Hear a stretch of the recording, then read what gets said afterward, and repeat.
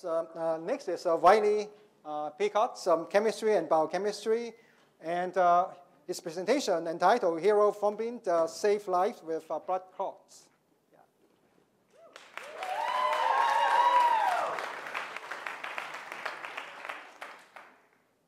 Right now, at this very moment, our bodies are literally tearing themselves apart.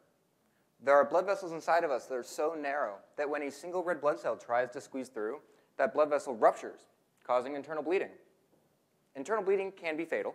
However, our bodies do produce a defense against this, and really any type of bleeding, and that is the enzyme named thrombin. I like to think of thrombin as this superhero plumber that circulates in our blood. And whenever thrombin comes across a damaged blood vessel, it grabs other molecules from the blood, stuffs them in its mouth, and then uses that to plug the hole. However, thrombin is really good at its job. And once it starts creating blood clot, even though thrombin does have other important functions, it really doesn't know when to stop. And if that blood clot gets so big that it actually blocks the blood vessel, it can create a thrombosis. A thrombosis is more common than you'd think, and it can kill you. This is particularly concerning in the field of medicine because surgeons who make cuts and nurses that give injections are damaging blood vessels in the process. The current class of thrombin inhibitors that could be used to prevent a thrombosis from happening are actually pretty harmful to a patient. They essentially destroy a patient's entire thrombin supply. Well, the results of my research may actually offer a safer solution. You see, thrombin has a sidekick named thrombomodulin. And thrombomodulin's function is to basically come along and say, yo, thrombin, chill out, okay, you did it. You stopped the leak. Now go do one of your other functions. You know, go home, see your kids.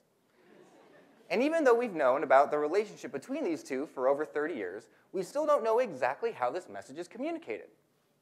The explanation that my research works on is that thrombomodulin actually changes the way that thrombin jiggles. You can think of enzymes like thrombin as these jiggly little molecular hairballs. The method that my research uses places a small probe in the solution around thrombin.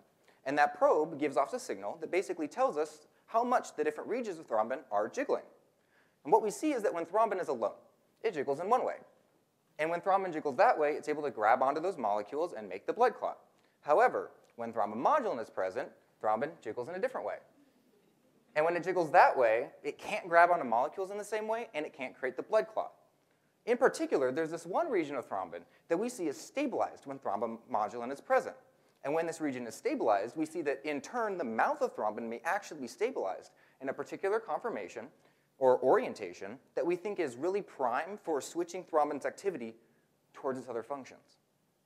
Imagine, we could create a drug using this information that either enhances or mimics the effect of thrombomodulin on thrombin. This would not be dangerous to a patient at all because it's taking advantage of an already natural relationship. So we could, doctors could give this to patients prevent a thrombosis from happening, but not have to worry about causing any damage to a patient at all. And so really, you know, in short, my research, studying this little plumber jiggle inside of us, may actually one day help doctors save lives. And so, you know, right now I want to take a moment. Can we all give a round of applause for the little, little plumber inside of us that is keeping us alive? Thank you. All right, thank you very much, uh, Riley. So uh, this is a very engaged uh, research that you're doing on the blood clot and the relation to thrombosis. Um, tell us a little bit about, you know, what do you do in your free time? Uh, well, you know, we live in beautiful San Diego. We get a lot of sunlight, so I try to go outside, do lots of activities out there. Love the beach. I like to rock climb as well. Do you do any tra hiking, trailing? Hiking, backpacking, camping. What would would be the uh, favorite uh, trail that you, you follow? Oh man, well last summer I was I hiked the John Muir Trail, which was 19 oh, days of backpacking, yeah. 14 days without showering. Okay. After five days, you don't get stinkier. Uh, don't tell me that you go back to the lab right after that. I showered first. All right. Thank you very much. Thank you. Yeah.